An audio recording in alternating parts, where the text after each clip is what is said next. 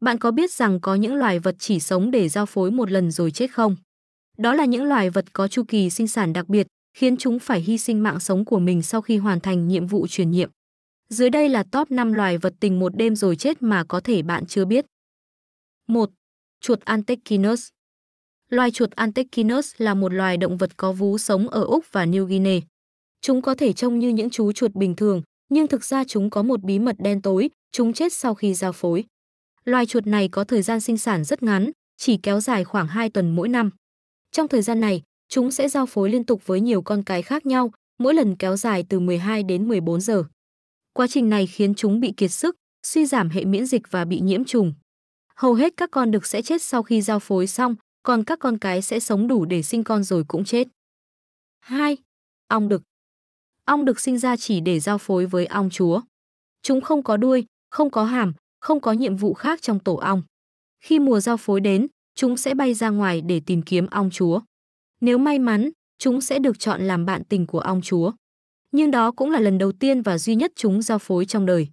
Khi giao phối xong, dương vật của chúng sẽ bị rách khỏi cơ thể, tạo ra một tiếng nổ nhỏ. Chúng sẽ chết ngay sau đó vì mất máu và nhiễm trùng.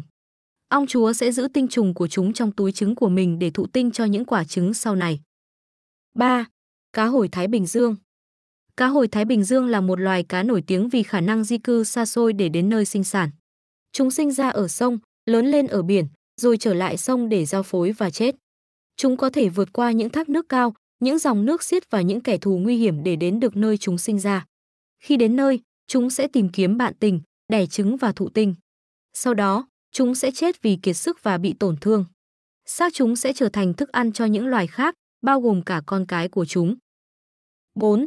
Bạch tuộc vùng biển sâu Bạch tuộc vùng biển sâu là một loài bạch tuộc sống ở độ sâu hơn 1.000 mét dưới mặt biển. Chúng có thể sống đến 3 năm tuổi, nhưng chỉ giao phối một lần trong đời. Khi giao phối, con đực sẽ chuyển một chiếc tay của mình, có chứa tinh trùng, cho con cái. Con cái sẽ giữ tay đó trong túi đầu của mình và sử dụng nó để thụ tinh cho những quả trứng sau này. Con đực sẽ chết sau khi giao phối xong, còn con cái sẽ sống để ấp trứng. Nhưng khi trứng nở, con cái cũng sẽ chết vì không ăn uống gì trong suốt thời gian ấp trứng. 5. Ký sinh trùng bộ cánh xoắn Ký sinh trùng bộ cánh xoắn là một loài ký sinh trùng sống trong cơ thể của các loài côn trùng khác.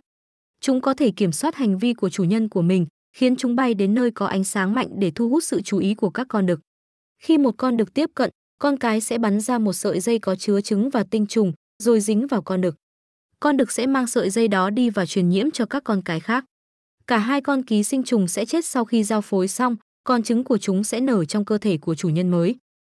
Đó là top 5 loài vật tình một đêm rồi chết mà tôi muốn giới thiệu cho bạn. Hy vọng rằng video này có thể giúp bạn hiểu hơn về những loài vật này hơn. Nếu bạn có ý kiến hoặc câu hỏi gì, xin vui lòng để lại bình luận. Nhớ đăng ký kênh để nhận thêm nhiều video bổ ích khác nữa nhé.